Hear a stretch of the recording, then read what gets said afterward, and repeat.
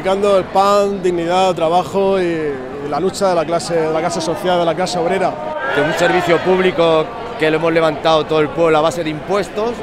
y que hoy cuando miramos a las arcas públicas vemos que están vacías porque nos la han robado políticos, banqueros,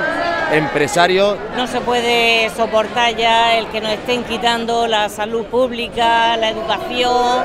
el que cada vez la gente tenga trabajo más precario, que estén con un contrato a media jornada cuando en realidad están trabajando más de 10 de 10 horas. Ya no es que nos dejen en paro, ya no es que nos desahucien, es que encima cuando nos dan un trabajo es un trabajo de mierda que no nos da ni para comer ni para vivir y ya está bien, ya estamos hartos, queremos trabajo y queremos trabajo digno.